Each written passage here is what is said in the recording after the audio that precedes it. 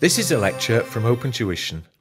To benefit from the lecture, you should download the free lecture notes from opentuition.com. The following chapter is just going to go through and touch upon earnings per share as an accounting standard.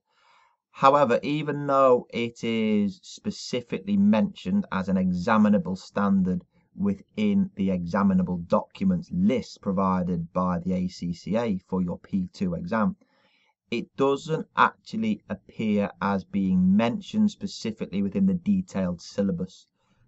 If you have a look at the detailed syllabus and look at all the accounting standards that are mentioned, earnings per share is not mentioned. The only scenario where I could see it creeping into the syllabus is looking at where it analyzes the financial position and financial performance of an entity. So building upon what you've seen previously in your analysis and interpretations that you did within F7. But from experience, there hasn't really been any analysis and interpretations questions covered within P2. It's not set up that way. Question one is groups. Question two and three begin to look at the exact uh, accounting standards, don't they? Uh, and then question four covers your current issues. Well, there's no current issues surrounding this here. Uh, I, wouldn't have thought you would get examined on earnings per share in questions two or three. Uh, there, there isn't much there to discuss, is there? Uh, and, and, the computations in terms of question one don't really lend itself for this essentially. It's just mathematics, isn't it? There's no accounting for debits and credits, so no accounting complexities. Uh, what all you have to do there is take one number, divide it by another, and adjust those numbers to make sure you're doing the correct number divided by the correct number. Okay. Uh, so all I'm just going to do is quickly quickly whiz our way through just to recap it, just so you're familiar with it.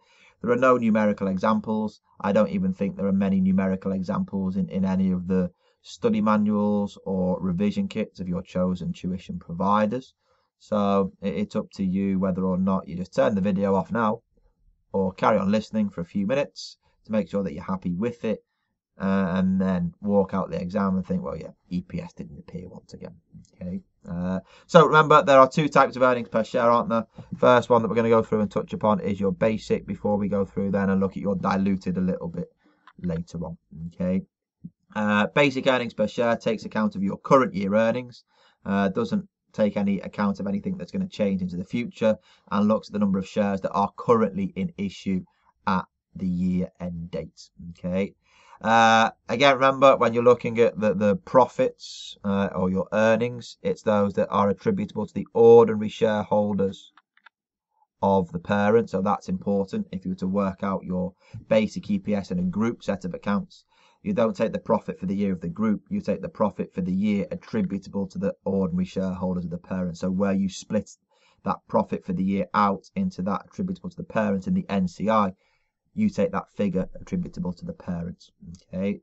Uh, likewise, as well, it's the ordinary shareholders, so you may need to go through and make adjustments there for any preference share dividends, depending upon whether it is an irredeemable or a redeemable preference share dividend.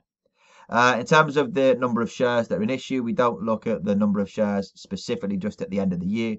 Remember, those profits have accrued evenly over the year, and we need to look at when those shares during the year have been issued to try and match up a higher number of shares issued with a higher level of profits. Because as we've issued shares for cash, we, that cash will then be used to generate additional profits, won't it? So what we went through and did there is we needed to look at a weighted average number of shares that were in issue, wasn't it? Uh, again, there was three scenarios that we had. It was an issue at full price, so at your standard market value. Was it there a bonus issue? And then uh, it was a rights issue, wasn't it? Uh, full issue, nice and straightforward, dead easy. It was just a normal weighted average calculation. Remember that weighted average calculation was based upon a number of months. Uh, in terms of your bonus issue, uh, bonus issue, remember, is an issue of shares for free, so there is no cash. So what we have there is that there is no change in the level of profits. However, there will be a change in the number of shares. But if there's no change in the profits because we receive no cash, we don't really want to go through there and do a weighted average calculation, do we? So what we do is we just make a very simple assumption that regardless of when the bonus issue took place, we assume that it took place at, at the start of this accounting period. So assume the shares have always, always, always been in issue. The key thing to do there, however, as well, is you have already reported your basic EPS for the prior year, haven't we? what we would need to go through and do there is we would need to restate last year's comparatives, again, assuming that the bonus issue was in place for all of the preceding financial year. Okay. Uh, in terms of your rights issue, that was the complex one, wasn't it? Where you needed to work out your rights issue fraction. Uh, I'm not going to go into the complexities of working out your rights issue fraction. I just think that is beyond the scope of what we cover within P2. The key bit there is to understand that a rights issue is a mixture, isn't it, of your full price issue and your bonus issue. Because a rights issue, you issue the shares at slightly below full market price. So the business does receive some cash, but also there is an element of free shares issued as well. So you need to work out what that element of free shares is, and you do that by working out that rights issue fraction. Again, don't forget that we also need to go through there and restate any prior year comparatives. Again, I don't think the numbers are going to be examinable. The only thing that I would go through and mention is that small point there because it does tie in a little bit to IAS10 events after the reporting period. So it says that bonus issues or rights issues occur after the reporting date but before the date of approval of the accounts. Just note the EPS should be calculated based on the number of shares following the issue. So even though they've been issued after the reporting date, the financial statements haven't been authorized, so let's make the assumption that they were actually issued at the reporting date and work out the EPS based upon that figure. Okay, a very small point to consider with IAS 33 and IAS 10. It is an adjusting event. Okay, uh, and then what you've got as well is it there your diluted earnings per share.